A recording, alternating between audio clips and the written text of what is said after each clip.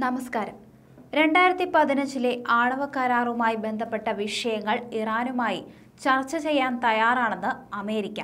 മുൻ president Donald Trump കരാറിൽ നിന്നും പിന്മാറിയതിനു പിന്നാലെ ഇരു രാജ്യങ്ങളും തമ്മിലുള്ള ബന്ധം വഷളായിരുന്നു. ഇപ്പോൾ ഏറെ നാളത്തെ അനിശ്ചിതത്വത്തിന് ഒടുവിലാണ് ഇറാനും അമേരിക്കയും തമ്മിൽ ചർച്ചകൾ പുനരാരംഭിക്കുന്നത്. ആണവ കരാറിൽ ഉൾപ്പെട്ട യൂറോപ്യൻ രാജ്യങ്ങളുടെ പ്രതിനിധികളുമായി നടത്തിയ ചർച്ചയിലാണ് ജെ സി പി ഒയെ കരാറിലേക്ക് തിരിച്ചെത്താനുള്ള ജോ ബൈഡന്റെ തീരുമാനത്തെക്കുറിച്ച് U S state secretary Antony Blinken സംസാരിച്ചത്. ആണവ കരാർ പൂർണമായും പാലിക്കാൻ ഇറാൻ തയ്യാറാണെങ്കിൽ കരാറിലേക്ക് മടങ്ങിയെത്താൻ അമേരിക്കയും തയ്യാറാണെന്നാണ് ബ്ലിങ്കൻ അറിയിച്ചത്. കരാറിൽ ഉൾപ്പെട്ട മറ്റു രാജ്യങ്ങളുമായുള്ള ചർച്ചയ്ക്ക് തയ്യാറാണെന്നും ബ്ലിങ്കൻ അറിയിച്ചു. ഇറാനുമായുള്ള അനൌദ്യോഗിക ചർച്ചയ്ക്ക് ആതിഥ്യം വഹിക്കാൻ സന്നദ്ധമാണെന്ന് യൂറോപ്യൻ യൂണിയൻ നേരത്തെ അറിയിച്ചിരുന്നു.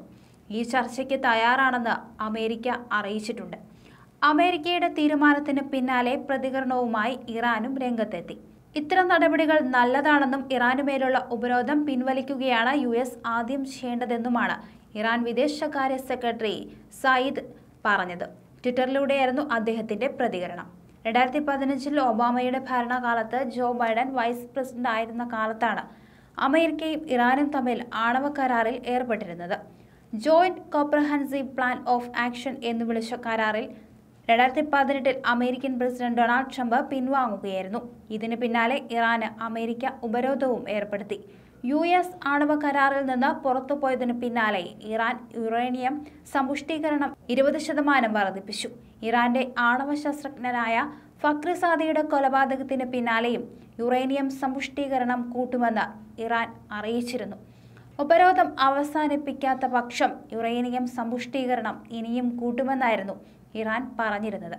ട്രംപ് അധികാരത്തിൽ നിന്നും പുറത്തുപോയതിനു പിന്നാലെ ഉപരോധം പിൻവലിക്കണമെന്നും ആണവ കരാറിലേക്ക് മടങ്ങിയെത്തണമെന്നും അമേരിക്കയോട് ഇറാൻ ശക്തമായി ആവശ്യപ്പെട്ടിരുന്നു.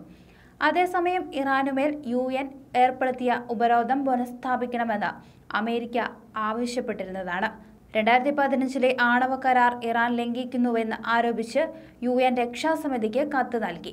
ഇറാനെതിരായ ആയുധ ഉപരോധം അനിശ്ചിതമായി നീട്ടാനുള്ള യു എസ് പ്രമേയം ഐക്യരാഷ്ട്രസഭ രക്ഷാസമിതിയിൽ ദയനീയമായി പരാജയപ്പെട്ടതിന് പിന്നാലെയാണ് യു എൻ രക്ഷാസമിതിക്ക് അമേരിക്ക കത്ത് നൽകിയത്. ഇറാന്റെ യുറേനിയം സമ്പുഷ്ടീകരണ തോത് മൂന്ന് പോയിന്റ് ആറ് ഏഴ് ശതമാനത്തിലെത്തിയത് കരാറിന്റെ ലംഘനമാണെന്നും സ്റ്റേറ്റ് സെക്രട്ടറി മൈക്ക് പോംപിയോ കുറ്റപ്പെടുത്തിയിരുന്നു. യു എൻ ആസ്ഥാനത്തെത്തിയാണ് പോംപിയോ കത്ത് കൈമാറിയത്. എന്നാൽ അമേരിക്കയുടേത് അപകടകരമായ നീക്കമെന്ന് ഇറാൻ പ്രതികരിച്ചിരുന്നു. ഇറാനെതിരെയുള്ള ആയുധ ഉപരോധം നീട്ടാൻ ലോകരാജ്യങ്ങളുടെ പിന്തുണ നേടാൻ യു എസിന് കഴിഞ്ഞിരുന്നില്ല. ഉപരോധം നിലവിൽ വന്നാൽ ആണവ പരീക്ഷണങ്ങൾ ഉൾപ്പെടെ നിർത്തിവെക്കാൻ ഇറാൻ നിർബന്ധിതമാകും.